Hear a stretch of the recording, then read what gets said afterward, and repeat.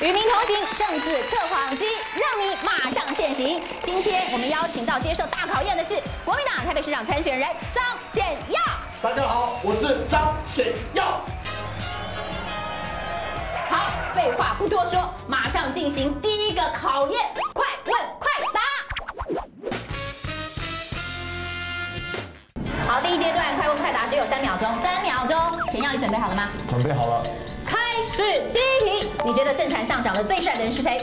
我马英九，你觉得政坛上长得最丑的人是谁？柯文哲，你觉得自己最大的缺点是？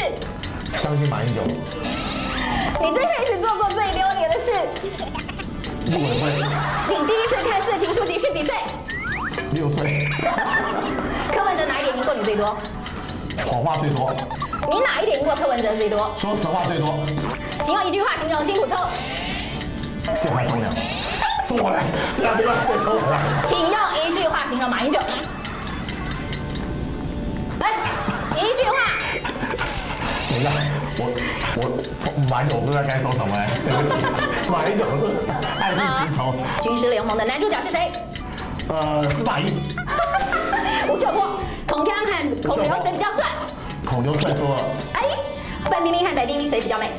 呃，范冰冰，哪位女星曾是你幻想的对象？白冰冰，你确定？这一位，波多野结衣和小泽圆，你比较爱谁？小泽圆，你跟一般人，你刚刚不是说你觉得范冰冰比较美？那你的幻想对象居然是白冰冰？三十年前的白冰冰，我两打，给你三秒钟表演一下抖肩舞。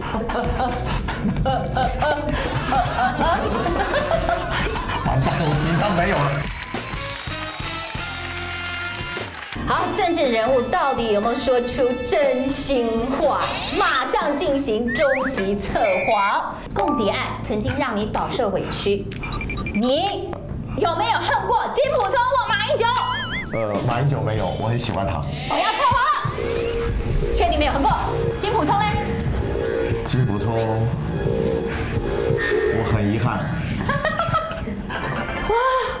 你说实话。我说实话了。你说实话了，你说实话了。第二题，金普聪跟柯文哲，好，你比较欣赏谁？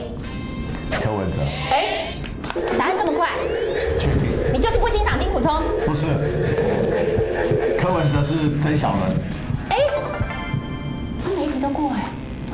他每一题都过哎。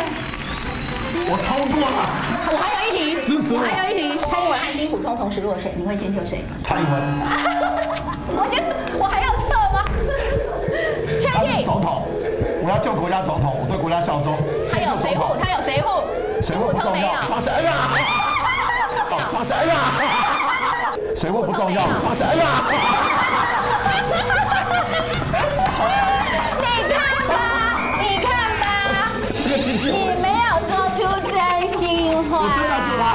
其实你两个都不想救吧？我们非常感谢显要参加我们今天的终极测谎大考验，哎，要钱的，要钱的，很准的哎。我们今天与民同行政治测谎机出席成功。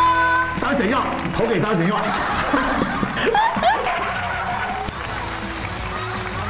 完蛋，完蛋，完蛋。